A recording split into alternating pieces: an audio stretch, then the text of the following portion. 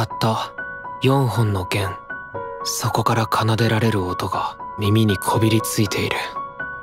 俺はあの音にとらわれている。次はシンフォニックオーケストラ部の皆さんです。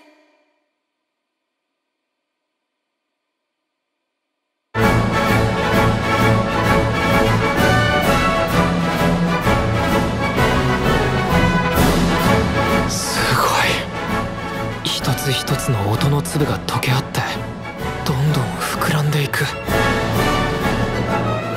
これが海幕高校オーケストラ部。あんたやっぱすごいんだね。私もあんたの音聞いてみたくなったの。私すごく人見知りで。